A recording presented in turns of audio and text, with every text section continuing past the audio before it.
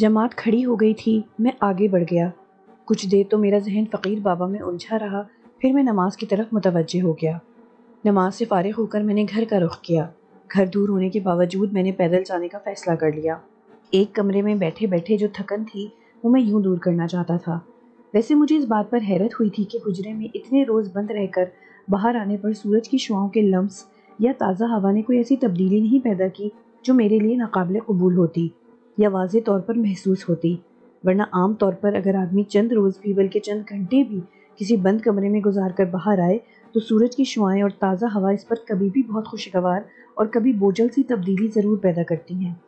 इसीलिए मैंने पैदल जाने का फ़ैसला कर लिया था, ताकि इतने रोज़ ना चलने से अगर टांगों के पट्टे नाकारा हो गए हों तो इनका दौरान खून बढ़ जाए। मैं समझ रहा था कि मैं ज़्यादा दूर नहीं चल पाऊँगा, मगर ऐसा नहीं हुआ, बल्कि इसके बरक्स मैंने अपने बदन में बला की फुर्ती ताकत और रफ्तार में तेज़ी महसूस की। इस कदर चलने के बावजूद ना मैंने थकन महसूस की और ना ही मेरा सांस फूला। ये तब्दीली मेरे लिए खुशी का बायस थी। इसी खुशी की वजह से मैंने और तेज़ और तेज़ चलना शुरू कर दिया और इस वक्त मैं हैरान रह गया जब मैंने महसूस किया कि जो बस, यानी मुसाफिर लारी मेरे सामने बस स्टॉप से चली थी, वो पीछे रह गई थी और मैं काफ़ी आगे निकल चुका था। ये एहसास होते ही मैं ठिठक कर रुक गया। एक सनसनी सी मेरे बदन में दौड़ गई। मैंने ठहर कर और घबरा कर चारों तरफ़ देखा। मेरा ख्याल था कि लोग मुझे हैरत से देख रहे होंगे, मगर ऐसा नहीं था। मेरे चारों तरफ़ बहुत से अफराद आ जा रहे थे, मगर मैंने किसी को अपनी तरफ़ मुतवजह नहीं देखा तो इतमान का सांस लिया। पहला ख्याल यही आया कि ये मेरे अंदर कोई अंदरूनी कैफियत होगी, जो मैं ऐसा महसूस कर रहा हूँ। अब मैंने दरमियानी रफ्तार से चलना शुरू कर दिया। पीछे रह जाने वाली लारी जन से मेरे बराबर से गुजर गई। वक्त का मुझे कोई अंदाज़ा ना हुआ मगर ये एहसास ज़रूर रहा कि मैं बहुत जल्द घर तक पहुँच गया हूँ। यहाँ के लोग टोपियाँ ओढ़े या आस्तीने ऊपर करते हुए मोहल्ले की मस्जिद की तरफ़ रवा दवा थे। गोया यहाँ अभी तक जमात भी खड़ी नहीं हुई थी। अगर ऐसा ही था तो मैं इतने फासले को सिर्फ़ चंद मिनटों में, बल्कि चंद सानियों में तय कर आया था। गली में दाखिल होकर मैंने अपने घर के दरवाजे पर निगाह डाली, वो बंद था। इस पर पड़ने वाली निगाह लौट कर आई तो मैंने खुद में गमगीन सी कैफियत को पैदा होते महसूस किया। बेवजह ही ख्याल आया कि मैं गमजदा हूँ। मैंने अपनी तेज़ी से बदलती हुई कैफियत की वजह से उलझन भी महसूस की। मेरा वजूद किसी ऐसी रेल की तरह लग रहा था, जो तेज़ी से गुजर रही हो, और इसमें बैठने वाले को खिड़की से बहुत से मनाजिर नज़र आ रहे हों, और तेज़ी से तब्दील हो रहे हों। अभी एक मंज़र पर निगाह डाल भी ना पाता था कि वो मंज़र तब्दील हो जाता था। मेरी बिल्कुल वही कैफियत थी। मैं लम्हों में दरवाजे तक पहुँच गया। गम की कैफियत यहाँ आते आते मज़ीद गहरी हो गई थी। मैंने दरवाजे का कुंडा बजाया मुझे यकीन था कि घर के तमाम अफराद ही जाग चुके होंगे। अम्मा अजान की आवाज़ पर ही उठ बैठती थी और बारी बारी सबको उठा देती थी। ताया तो मस्जिद में नमाज़ पढ़ते थे अलबत् चचा ज़्यादातर घर पर ही नमाज़ पढ़ लिया करते थे, जिस पर ताया उनसे अक्सर नाला रहते थे। उनका ख्याल था कि उनके अखलाक के बिगड़ने की एक वजह यह भी है कि उनका माकूल लोगों में उठना बैठना बहुत कम रह गया है। तमाम वक्त वो अपनी बीवी के साथ रहने की वजह से कुएँ का मेंढक बनकर रह गए हैं। ताया की इस बात को याद करके मैं बेसाख्ता मुस्कुरा उठा। उसी वक्त किसी ने दरवाज़ा खोल दिया। सूरज की रोशनी इस वक्त मशरक़ी किनारे ही तक महदूद थी, इसलिए आँगन अंधेरे में डूबा हुआ था। दरवाज़ा खोलने वाला कोई मर्द था, इतना मैं जान चुका था। कौन है? दरवाज़ा खोलने वाले ने पूछा और इस आवाज़ ने गोया, मेरे अंदर तूफ़ान से मचा दिए। मैं खुशी से बेकाबू हो गया। वो सौ फ़ीसद शरफुद्दीन था। मैं लपक कर उसके गले लग गया। वो भी मुझे अपने सामने पाकर हैरान और खुश हो गया। उसने अपने दोनों बाजू मेरे गिर्द लपेट दिए और बड़ी ज़ोर से भींच कर बोला वक़ारुल हसन, तुम तुम कैसे हो? सब ठीक है ना?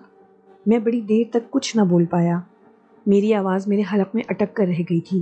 कुछ बोला ही नहीं जा रहा था। बस मैं भी उसे भींचे गया और वो मंज़र मेरी निगाहों में घूम गया जब मैंने उसे ज़ख्मी हालत में सड़क पर पड़ा देखा था। मियाँ कौन है बताया नहीं तुमने? ये आवाज़ ताया की थी। वो लालटेन लिए दरवाजे की तरफ़ बढ़ रहे थे।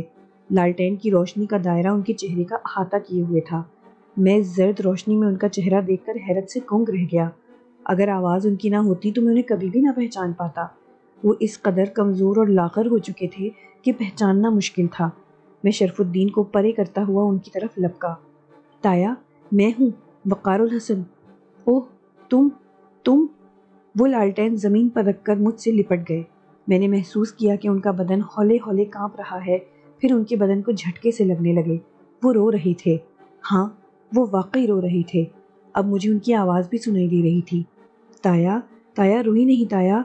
मैंने उन्हें भींच कर रुंधी हुई आवाज़ में कहा, इतने बहुत से दिनों की जुदाई शायद उनके लिए जानलेवा रही हो। मुझे भी तो रोना आ रहा था। चा, चालीस रोज हो गए और पता ही नहीं चला। उन्होंने भीगी हुई आवाज़ में कहा, मुझे उनका ये जुमला सुनकर हैरत हुई। जुदाई अगर जानलेवा हो तो उसका लम्हा लम्हा भारी गुजरता है। सदियों जितना तवील और हब्जदा मौसम जैसा बोझल। मगर वो तो कह रहे थे कि इतने बहुत से दिन गुजर कर पता ही नहीं चला। गोया मेरी जुदाई का तवील दौरानिया उनके लिए इतना मुख्तसर था, जैसे सिर्फ़ चंद लम्हे गुजरे हों। उनके इस जुमले ने मुझे चुप लगा दी थी, जिसे शायद शरफुद्दीन ने महसूस कर लिया। उसने मेरे हाथ से अटीची केस ले लिया और एक हाथ से मुझे आगे बढ़ने का इशारा किया। ताया, आप आप तो बहुत कमज़ोर हो गए हैं। क्या आप बीमार थे? क्या हो गया है आपको? मैं पूछे बगैर न रह सका। उनके लड़खड़ाते और एक दूसरे में उलझते कदमों ने मुझे घबराहट में मुबतला कर दिया था। हम बरामदे तक पहुँच गए। नहीं मियाँ, अच्छे भले तो हैं। उनका लहजा अजनबी अजनबी सता तुम कहो, तुम तो ठीक हो ना? इस लहजे में भी वो जोशो खरोश न था जिसकी मुझे तो थी। मैं ठीक हूँ ताया, आपने मेरी बात का जवाब नहीं दिया। अब तुम आ गए हो बातें तो होती रहेंगी। हम ज़रा नमाज़ पढ़ लें। इतना कहकर उन्होंने पलंग के बराबर रखे मोंढे से जाए नमाज़ उठाकर बिछाई और उस पर बैठ गए। जाए नमाज़ बिछाने से ही उनका सांस फूल चुका था। यहाँ लालटेन के अलावा कॉन्स पर रखे लैंप की रोशनी में भी थी। इतनी तेज़ रोशनी में ताया का चेहरा देखकर मेरा दिल बैठा जा रहा था। उनकी आँखें अंदर को धस गई थी। रुखसारों की हड्डियाँ उभर कर बदसूरत लग रही थीं। कंधे कानों के करीब महसूस हो रहे थे और सुर्ख सफ़ेद रंग जर्दे के रंग का सा हो रहा था। उन्हें बैठकर नमाज़ पढ़ता देखकर मैं सर पकड़ कर रह गया। शरफुद्दीन गहरी चुप लिए बैठा था। मैं फिर उसकी तरफ़ मुतवजह हुआ। उसकी सेहत पर कोई ख़ास असर न था, बल्कि वो मुझे पहले से कुछ फरबा लग रहा था, मगर चेहरे पर तासुरात अजीब व गरीब थे। आँखें साकित और भीगी हुई सी महसूस हो रही थी।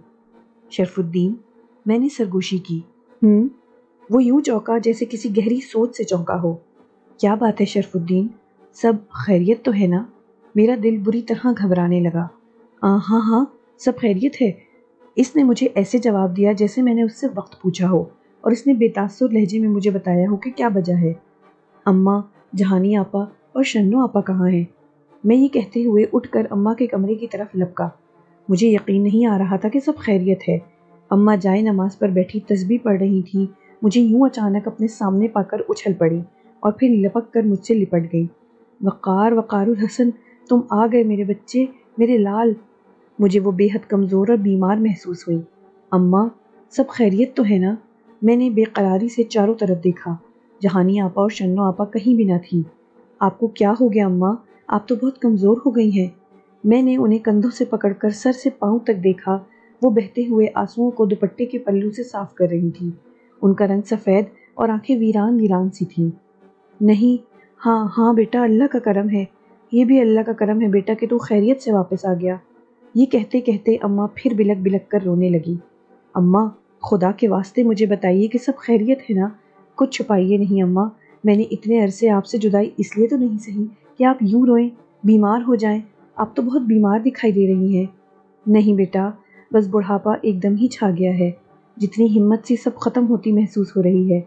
मुझे मुझे बच्चियों की तरफ़ से भी बहुत फ़िक्र है। खुदा मेरी मुश्किलें आसान करे। तुम तो ठीक थे ना? क्या हुआ? चिल्ले मुकम्मल हो गए ना? क्या कहा सुनहरे बाबा ने? हमारे हक में दुआ करेंगे या नहीं? अम्मा ने एकदम ही इतने सारे सवाल कर दिए कि मैं हंस पड़ा। मगर मुझे फ़ौरन ही एहसास हो गया कि बात ऐसी नहीं थी कि मैं हंसूं। अम्मा के चेहरे पर बहुत ज़्यादा परेशानी छाई हुई थी। मेरा दिल कह रहा था कि घर में खैरियत नहीं है। कुछ हुआ है। यकीनन कोई ऐसी बात हुई है जिसने ताया और अम्मा जैसे हौसले वाले लोगों को भी तोड़ फोड़ कर रख दिया है। सब ठीक हो जाएगा, अम्मा। मैं अब वो ताकत हासिल कर चुका हूँ कि साधु जैसे शोबदेबाजों को सबक दे सकूँ। कहने को तो मैंने ऐसा कह दिया था, मगर अंदर से खुद को बहुत खोखला महसूस कर रहा था। बात तो जब थी जब मैं कड़े और मुजस्मे को भी महफूज कर चुका होता, तब मेरा सीना फुलाकर कुछ कहना बचा था। बहरहाल फिल वक्त उन्हें तफसील से आगाह करना मुमकिन न था। वैसे भी मुझे बेचैनी थी कि घर की इस बोझलपन का सबब मालूम कर सकूँ, इसलिए बोला अम्मा आपने मेरी बात का जवाब नहीं दिया।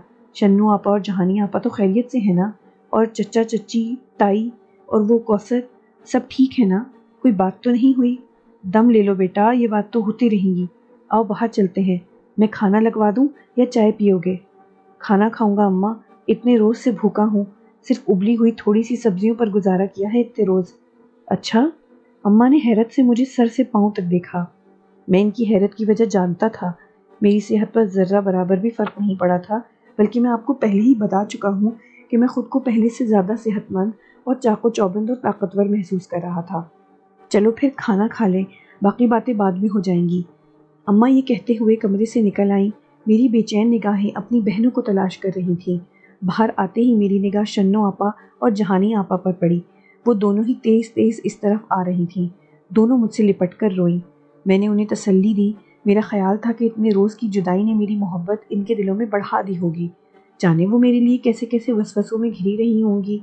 इसलिए मुझे यूँ सही सलामत पाकर रो रही हैं। मगर इनका रोना, यूँ बिलक बिलक कर रोना साबित कर रहा था कि बात कोई और है। ताया और अम्मा के बाद इन दोनों का ही रवैया भी इनके बोझिलपन के किसी अनजाने सबब को साबित कर रहा था। मैं ताया और अम्मा से सबक पूछ चुका था कि क्या हुआ है। दोनों ही ने मुझे कोई जवाब नहीं दिया था। अब इन दोनों से पूछना बेकार था। मैंने खुद ही सबब जानने का इरादा किया। इन दोनों की खैरियत की तरफ़ से मुतमिन होकर मैं अम्मा से जल्द आने का कहकर ऊपर जाने वाली सीढ़ियों की तरफ़ बढ़ गया। ताया और शरफुद्दीन बरामदे में किसी बुत की तरह आमने सामने बैठे थे। दोनों खलाओं में घूर रहे थे।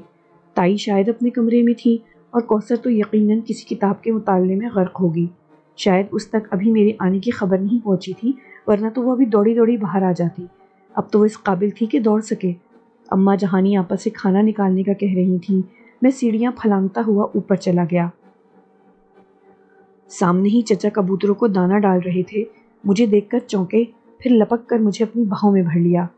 चचा, कैसे हैं आप? और चच्ची कहाँ हैं वो? मैंने उनके सीने से लगे लगे पूछा। अपने भांजे भांजियों के पास गई हैं दिल्ली। तुम तो ठीक हो ना? तुम्हारी तरफ़ से सभी परेशान थे। उन्होंने आस्तीन से आँसू साफ़ करते हुए कहा, देख लीजिए अच्छा भला हूँ। मैंने दो कदम पीछे होकर कहा हाँ तुम तो अच्छे भले हो, लेकिन वो कुछ कहते कहते झिझक गए। लेकिन क्या? मैं आगे बढ़ा, लेकिन उसी लम्हे अम्मा ने आवाज़ दे ली। वो चच्चा को भी खाने पर बुला रही थी। चलो, चच्चा ने बात टाल दी। चच्चा मुझे बताइए तो कि क्या हो गया है, वरना मैं मैं पागल हो जाऊँगा। मैं शदीद जज्बाती दबाव का शिकार हो गया। तुम्हारी अम्मा नीचे इंतज़ार कर रही हैं। देर सवेर तुम्हें सब पता चल जाएगा। वैसे तो सब खैरियत है, तुम परेशान ना हो। उन्होंने गोल मोल जवाब दिया। हम आगे पीछे चलते हुए नीचे उतर आए। बरामदे में खाना लग चुका था। ताया, अम्मा, शरफुद्दीन दस्तरखान पर मौजूद थे, मगर यूँ जैसे किसी ने पत्थर के बुत बिठा दिए हों। मैं और चचा हाथ धोकर बैठ गए। फिर अचानक मुझे एहसास हुआ कि ताई नहीं है। कौसर जहानी आपा और शन्नो आपा तो वैसे भी शरफुद्दीन की मौजूदगी में साथ खाना नहीं खाती थी, मगर ताई को तो दस्तरखान पर होना चाहिए था। अम्मा, ताई ताई कहाँ हैं? मैंने चौंक कर पूछा। वो मेरे इस सवाल से पहले भी पूरे घर में गहरी खामोशी छाई हुई थी, मगर मुझे यूँ लगा जैसे ही सन्नाटा एकदम बहुत ही गहरा हो गया हो, जैसे सवाल सुनकर उन सबने सांस तक रोक लिए हों। मैंने बारी बारी सब की तरफ़ देखा, जो फैली हुई वीरान आँखों से एक दूसरे की तरफ़ देख रहे थे। मेरे अंदर तूफ़ान से उठने लगे। ताई कहाँ है? मैंने फटी फटी आवाज़ में पूछा, जैसे अंदर उठते तूफ़ान मेरे होंठों तक आ गए हों। अपने अपने कमरे में है वक़ार। जवाब देने वाले ताया थे और जवाब देते देते यूँ बिलक पड़े थे जैसे कोई बच्चा गम संभाल ना पाया हो और धाड़े मार मार कर रो पड़ा हो। ताया, मैं घबरा कर चीख कर उठ खड़ा हुआ। क्या हो गया ताया? आप सब बोलते क्यों नहीं? बताते क्यों नहीं कि क्या हुआ है? मैं बुरी तरह चीख पड़ा। इसी वक्त मुझे अपनी पुश्त पर से हँसी की आवाज़ आई। वहशत भरी हँसी। एक ऐसी हँसी जिसमें गमों और दुखों के गहरे एहसास के साथ ही एक अजीब सा खोखलापन था कि वो हँसी होने के बावजूद भी हँसी महसूस नहीं हो रही थी। मेरे सामने बैठे तमाम लोगों की खौफजदा निगाहें मेरी पुश्त की तरफ़ उठ गईं और मैं एक झटके से मुड़ा। ताई ताई। वो मुझे करीब आता देखकर हंसती हुई दूर भाग गई और बोली, पकड़ लो मुझे, कोई भी नहीं पकड़ सकता। कौसर को दुल्हन बना दिया है मैंने। पालकी मंगा लो। ए, शोर ना करो। फूट गई तो? नाराज़ हो जाएगी। भाग जाएगी बहुत दूर। जो ही मेरी निगाह सामने खड़ी हस्ती पर पड़ी, मैं भूंचका रह गया। वो ताई थी। हाँ यकीनन वो ताई थी। मगर इस वक्त वो जिस हालत में खड़ी थी, उसे देखकर मेरे तमाम बदन के रोंगटे खड़े हो गए। उनके बाल मट्टी में अटे हुए थे। बदन पर मैल की धारें जमी हुई थीं। चेहरे पर आंसुओं की लकीरें जमी हुई महसूस हो रही थीं। आँखों में भरी वहशत देखने वाले के जिसम में सन्नाटे सी भर रही थी। उनके कपड़े बेहद मैले थे, मगर वो सुर्ख गोटा लगा दुपट्टा सर पर डाले, दांतों में उंगली दबाए, छोटा सा घूंघट निकाले हमें देखकर हंस रही थी। वो कतई अपने हवासों में नहीं थी। मैं उन्हें इस हाल में देखकर लपक कर उनकी तरफ़ बढ़ा। मैं हैरत और दुख से बुत बन चुका था। मेरी समझ में कुछ भी नहीं आ रहा था। सोचने समझने की सारी क़वतें सलब होकर रह गई थी। अचानक मैंने सिस्कियों की आवाज़ सुनी। ये सिस्कियाँ जहानी आपा, शन्नो आपा और अम्मा की थी। अम्मा मेरे पीछे दस्तरखान पर बैठी रो रही थी, जबकि जहानी आपा और शन्नो आपा अम्मा के कमरे के दरवाजे की चौखट से लगी खड़ी थी। ये ये क्या हुआ है? क्या हुआ है इन्हें? मैं फटी फटी आवाज़ में चीख उठा था। मेरी निगाहें अब भी ताई पर जमी हुई थी। उसी वक्त पीछे किसी ने मेरे दोनों कंधों पर हाथ रख दिए। मैं पलटा, वो शरफुद्दीन था। उसकी आँखों में आँसू भरे थे और चेहरा सुर्ख हो रहा था। वक़ारुल हसन, ताई पागल हो गई है। उसने सरगोशी की थी, मगर मुझे यूँ लगा जैसे एक जुमले ने मेरे वजूद में छुपे किसी एटम बम को छू लिया हो। एक तूफ़ान सा था, एक बेपनाह शोर जिसने मुझे निढाल कर दिया। मैं बुद्ध की तरह साकित खड़ा अपने अंदर उठते तूफानों का शोर सुन रहा था। पागल हो गई? मगर क्यों? कैसे? ये जुमला मेरे मुँह से निकला था, मगर यूँ लगा जैसे घर के सारे दरो दीवार गूंज रहे हों। जैसे ये सवाल मैंने नहीं, घर के दरो दीवार ने पूछा हो। तुम आओ, पहले खाना खा लो। शरफुद्दीन शायद मुझे इस तूफ़ान से निकालना चाहता था, बेवकूफ़ था वो। ये वाक़ मेरे लिए किसी अलमिए किसी सानहे से कम ना था। मेरा दिल फटा जा रहा था, और वो कह रहा था कि खाना खा लो। मैंने उसका हाथ झटक दिया। पलटकर अम्मा के करीब पहुँच गया। उनके चेहरे पर वहशत और दर्द गम किसी कैफियत तारी थी और ताया तो बिल्कुल सफ़ेद हो चुके थे। अम्मा, ताई को क्या हुआ है? क्या हुआ सब कुछ? खुदा के वास्ते मुझे बताइए और और कौसर, वो कैसी है? उसकी हालत तो बहुत ख़राब होगी। दस्तरखान पर खाना ठंडा हो चुका था। हर शख्स की आँखों में आँसू थे। किसी का हाथ भी खाने की तरफ़ नहीं बढ़ा था। सब बुत बने बैठे थे। मैं उस सबको साकित देखकर कौसर के कमरे की तरफ़ जाने लगा, मगर उसी लम्हे ताया ने मुझे आवाज़ दी। वक़ारुल हसन, कौसर यहाँ नहीं है। उनके लहजे में, उनकी आवाज़ में हज़ारों कांच के टुकड़ों की सी चुभन थी। क्या मतलब? मैं ठिटक गया। कहाँ है वो? आपने उसे कहीं जाने क्यों दिया? काश मैं उसे रोक सकता। ताया, मेरा दिल बैठ गया था। उन्होंने जिस अंदाज में ये बात कही थी, उससे असल बात मेरी समझ में आ गई थी। वो तो अच्छी भली थी। ताया, उसे उसे क्या हो गया था? मैंने लरसती हुई आवाज़ में पूछा। शायद वो पागल हो गई थी। जाने उसे क्या हो गया था, वक़ार। वो वो कौसर बिल्कुल नहीं थी, जिसे हमने अपने हाथों से खिलाया था। वो बदल गई थी। अजीब सी खूंखारी आ गई थी उसमें। लेकिन हमें तो ये गुमान भी ना था कि वो यूँ हम बूढ़ों को छोड़ जाएगी, जैसे हमारा उससे कोई ताल्लुक़ ही ना हो। जिस मासूम सी माजूर बच्ची की आँखों में हम बचपन से अपने लिए बेपनाह, मोहब्बत और अपनाइत देखने आए थे, वो जिसकी हर सांस हमारे लिए ज़िंदगी की नवीद थी, जिसका अचानक किसी मुआवजे की तरह से सेहतियाब हो जाना हमें फिर से जवान कर गया था, वो वो हमें बेमौत मार गई वक़ार, वो ये ख़त तुम्हारे लिए छोड़ गई है। इतना कहकर ताया ने अपने सिरहाने रखा हुआ एक कागज़ मेरे सामने कर दिया। कौसर के बारे में ये सुनकर मैं शदीद सदमे से दो चार था। और सोच रहा था कि ताई ठीक ही तो पागल हो गई। जिस माजूर बच्ची को उन्होंने इतने बरसों सीने से लगाए रखा, वो सेहतियाब होने के बाद अचानक मर जाए तो उन्हें पागलपन का ही दौरा पड़ना चाहिए था। ये सोचते हुए मैंने कौसर का ख़त खोला। मैं ये ख़त पढ़कर भी हैरान हो रहा था कि उसने मरने से पहले मुझे ख़त कैसे और क्यों लिखा? क्या वो अपनी मौत के बारे में जानती थी या उसने खुदकुशी कर ली? फिर जूँ जूँ मैं उसका ख़त पढ़ता गया, मेरा सदमा शदीद गुस्से में तब्दील होता चला गया। उसके लिखे हुए ख़त से जो इंकशाफ मुझ पर हुआ था, वो हैरान कन होने के साथ साथ गहरे दुख का बायस भी था। जिसे मैं मुर्दा समझ रहा था, वो ज़िंदा थी। अपनी मर्ज़ी से, अपनी खुशी से, अपना घर और अपने बूढ़े वालदेन को छोड़ कर गई थी। वो किसी की मोहब्बत में मुबतला होकर भाग गई होती तो शायद मैं उसे माफ़ कर देता। मगर ये जानकर मेरा रोम रोम गुस्से और दुख से सुलगने लगा था कि वो अपनी घिनौनी ख्वाहिशों की तकमील की खातिर घर छोड़ गई। वो इन पुरस्रार, उलूम पर मुकम्मल दस्तरस हासिल करने की ख्वाहिश और पूरी दुनिया को अपने काबू में करने की शदीद ख्वाहिश की तकमील करना चाहती थी। गोया वो साधु के नक्श कदम पर चलने की ख्वाहिशमंद थी। पुरस्रार, उलूम की दलदल में वो इस हद तक उतर चुकी थी। ये जानकर मैं हैरान रह गया। ऐसा करते उसे अपने इन बूढ़े वालदेन का भी ख्याल ना आया जो ज़िंदगी भर उसके गम में घुलते रहे थे और अब उसे सेहतमंद पाकर उससे हज़ारों उम्मीदें वाबस्ता कर बैठे थे। इतने बरसों में पहली बार ही तो उन्होंने औलाद की खुशियाँ देखी थीं। वरना अब से पहले तो वो गोश्त का वो बेजान टुकड़ा थी, जिसके चेहरे पर आँखें तो थीं, मगर उनमें रोशनी न थी। उसका बदन तो था, मगर उसमें जान न थी। ताई ने उससे वाबस्ता जाने कितने ख्वाब चंद ही दिनों में आँखों में बसा लिए थे। कितने खुश थे वो और ताया, मगर कौसर ने उनकी अपनी औलाद होकर भी उनसे दुश्मनों का सा सलूक किया था। उसने ख़ानदानी इज़्ज़त वक़ार की भी धज्जियाँ बिखेर दी थी। कौन था जो ये यकीन करता कि वो अपनी दीवानी ख्वाहिशात की बिना पर घर छोड़ गई? हर शख्स सोच रहा होगा कि आवारा थी। माजूर रहकर अपनी आवारगी से फ़ायदा नहीं उठा सकी थी, मगर टांगे मिलते ही उसने पर निकाल लिए। उसने ये भी ना सोचा कि उसके बूढ़े वालदेन, उसके मुतल लोगों को बातें कैसे सुनेंगे? कैसे लोगों के ताने सुनेंगे? कौसर का ये रूप मेरे अंदर बेपनाह नफरत फैला गया। उसने ख़त में लिखा था, वक़ार मैं जानती हूँ कि मेरे घर से चले जाने को लोग क्या रंग देंगे, मगर तुम जानते हो कि मैं क्या चाहती हूँ। मैंने तुमसे पहले भी कहा था कि मैं दुनिया की तमाम ताकतों को मुसखर कर लूँगी। ये मेरी खुशकस्मती और तुम लोगों की बदकस्मती है कि खुदा ने मुझे सेहत दी, वरना मैं तो इस बंद कमरे में भी तमाम क़वतें हासिल कर लेती।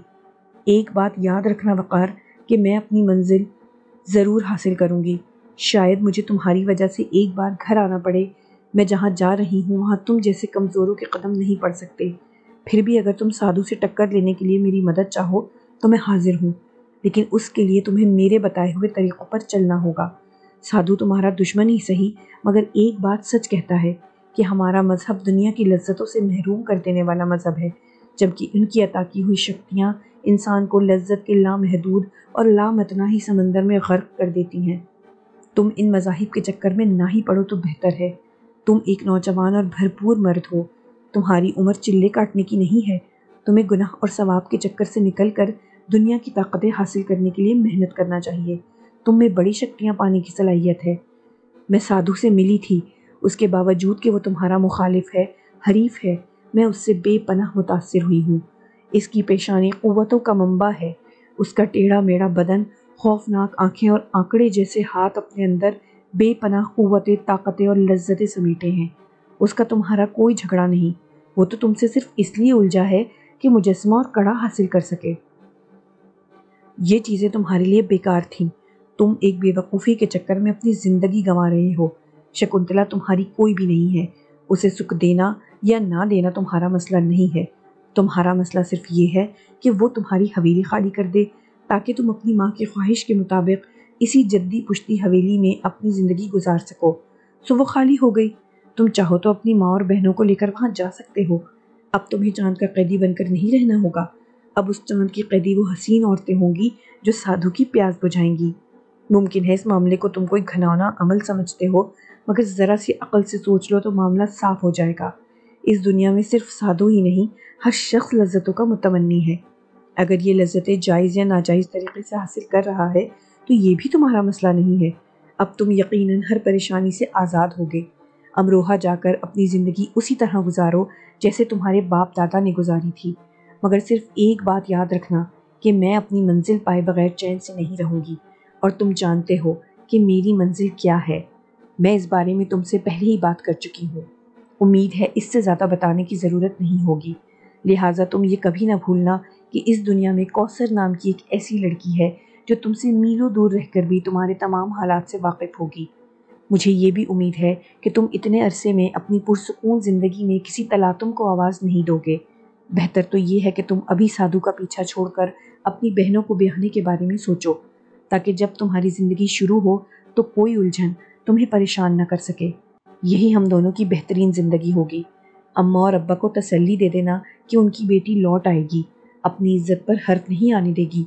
और लौट आने के बाद वो सबके दरमियान ज़िंदगी गुजारेगी। सिर्फ़ इतना बता देना कि इसकी ज़िंदगी का फ़ैसला करते हुए वो अपनी बेटी से ज़रूर पूछ लें। माँ बाप के सामने ज़बान से कहने की ज़रूरत तो शायद मैं नहीं कर पाती, इसलिए यहाँ लिख रही हूँ कि तुम मेरी पहली और आखिरी ख्वाहिश हो। वो आने वाले लम्हों के फ्रेम में मुझे तुम्हारे साथ देखा करें। मैं कुछ अरसे के लिए जा रही हूँ कि यहाँ रहकर वो शक्ति हासिल करना मेरे बस में नहीं है। इजाज़त किस से लेती कि मुझे कोई भी इजाज़त ना देता? इसलिए बग़ैर इजाज़त जा रही हूँ। इसे मेरी नाफरमानी समझा जाएगा, वक़ारुल हसन। लेकिन खुदा गवाह है कि मैं ना नाफरमान हूँ, ना माँ बाप के दुख से नावाकिफ। मगर जिस रास्ते पर मेरी तन्हाई, एहसास कमतरी और जहनी अजियत मुझे ले गई थी, वहाँ से मंजिल पाए बगैर लौट आना मेरे बस में नहीं है। मेरी पाई हुई शक्तियाँ हमेशा तुम्हारी हिफाजत करेंगी। कड़े वक्त भी मुझे तुम खुद से करीब तर पाओगे। मैं तुम्हारी राह में आने वाले हर तूफ़ान से टकरा जाऊँगी। इसलिए शगुफ्ता को वो तूफ़ान बनाने की कोशिश ना करना। मैं इस बेगुनाह के खून से हाथ नहीं रंगना चाहती। मेरा इंतज़ार करना हमेशा से हमेशा तक तुम्हारी कौसर। ये तहरीर एक ऐसी तलवार बनकर मेरे वजूद में उतरी कि मैंने खुद को कई टुकड़ों में तकसीम होता महसूस किया। इसका यूँ घर से छोड़कर चले जाना ही ताया और ताई के लिए क़यामत से कम न था कि उसकी ये बेबाक तहरीर भी उन्हें ज़मीन में गाड़ गई। हमारे ख़ानदान में लड़कियाँ ऐसे मामला पर निगाह भी नहीं उठा पाती थी जिन पर कौसर ने बड़ी बेबाकी से गुफ्तु की थी। उसने मुझे गोया धमकी दी थी कि मैं शगुफ्ता का ख्याल दिल से निकाल दूँ, वरना वो इसे कत्ल करने से भी दुरेग नहीं करेगी। मैं तो बारिश की पहली फुआर सी मोहब्बतों का मुतमनी था, मगर कौसर की मोहब्बत तो एक तूफ़ान बलाखेज़ बन चुकी थी। अगर इसकी मोहब्बत का ये अंदाज़ ना होता तो शायद मैं ख़ुद को शगुफ्ता के तस्वुर से निकाल लेता। मगर अब इसकी मोहब्बत का ये अंदाज़, उसकी ये हरकत मेरे दिल में भाले की तरह उतर चुकी थी। मुझे इस लम्हे इससे शदीद नफ़रत का एहसास हुआ। वो जो अपने बूढ़े माँ बाप को दुखों और गमों की गहरी खंदकों में उतार गई थी, भला मोहब्बत जैसे अलोहे जज्बे की अमीन कैसे हो सकती थी?